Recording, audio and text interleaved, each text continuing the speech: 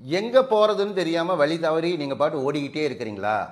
அந்த மாதிரி ஆட்களாக நீங்கள் இருந்தீங்க அப்படின்னா நில்லுங்க ஃபஸ்ட்டு நின்று நீங்கள் என்ன பண்ணணும் அப்படின்னா மீனிங்ஃபுல்லான லைஃபு ஃபுல்ஃபில்மெண்ட்டான லைஃப்குள்ளே நீங்கள் என்ட்ராகணும் உங்களுக்கு ஃபேமிலி இருக்குது அந்த ஃபேமிலியை நீங்கள் காப்பாற்றணும் ஃப்யூச்சர் அன்சர்டன் இந்த மாதிரி ஒரு சுச்சுவேஷனில் நம்ம என்ன செய்யணும் அப்படின்னா இப்போ உங்களுக்கு இருக்கக்கூடிய பெரிய பிரச்சனை எது? ஒன்று அதை நீங்கள் எடுத்துக்கோங்க.